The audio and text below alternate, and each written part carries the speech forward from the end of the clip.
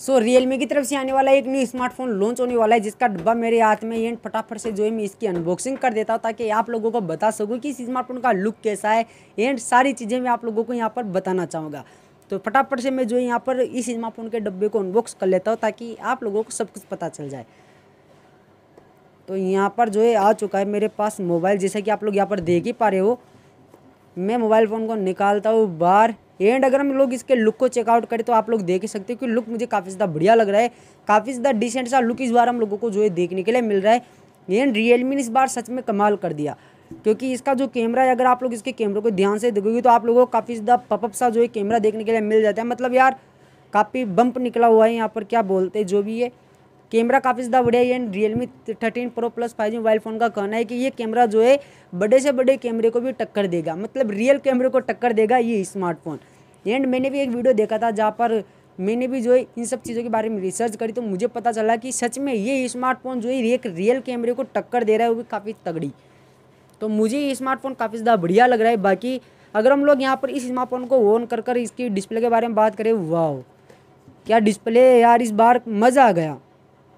सच में मज़ा आ गया। अगर आप लोग रियलमी के मोबाइल फ़ोन लेना पसंद करते हो ना तो आप लोग Realme thirteen pro plus five mobile phone को डेफिनेटली परचेज कर सकते हो। इसकी फिनिशिंग एंड इसका लुक फिदा हो गया। मैं तो, तो Realme thirteen pro plus five G mobile phone में हम लोगों को काफ़ी सारे सब्सक्रिप्शन भी मिल जाते हैं काफ़ी सारे फीचर्स भी मिल जाते हैं। तो मैं यहाँ पर मोबाइल फ़ोन के डब्बे को रखता हूँ साइड में। एंड बात करते हैं यहाँ पर मोबाइल फ़ोन के सब्सक्रिप्शन के बारे में जो कि काफ़ी ज़्यादा इंपॉर्टेंट है। तो Realme thirteen pro plus five G mobile phone में जो सबसे ज़्यादा हाईलाइट चीज़ें हैं उन चीज़ों का नाम है सबसे पहले processor Qualcomm Snapdragon seven S Gen two का प्रोसेसर हम लोगों को इस स्मार्टफ़ोन में देखने के लिए मिल जाए सो डेफिनेटली काफ़ी ज़्यादा बढ़िया है।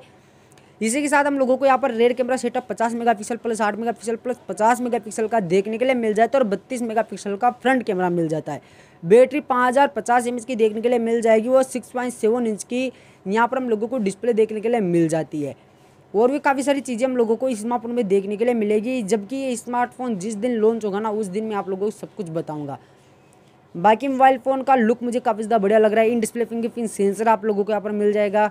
एंड मैं यहाँ पर बात करना चाहूँगा इसकी आईपी रेटिंग के बारे में कि क्या हम लोगों को इस स्मार्टफ़ोन में आईपी रेटिंग देखने के लिए मिलेगी या नहीं मिलेगी। तो अगर आईपी रेटिंग के बारे में बात की जाए तो डेफिनेटली आप लोगों को इस स्मार्टफ़ोन में आईपी रेटिंग देखने के लिए मिल भी सकती है और नहीं भी मिल सकती। हालाँकि यहाँ पर कोई भी अभी मेंशन तो नहीं है, लेकिन जहाँ तक मुझे पता है ना आई पी सिक्स फाइव तक की रेटिंग आप लोगों को इस स्मार्टफ़ोन में देखने के लिए मिल जाएगी। एंड ये रीज़न है जिसकी वजह से मैं इस स्मार्टफ़ोन का वाटर टेस्ट आप लोगों के लिए ज़रूर लेकर आऊँगा।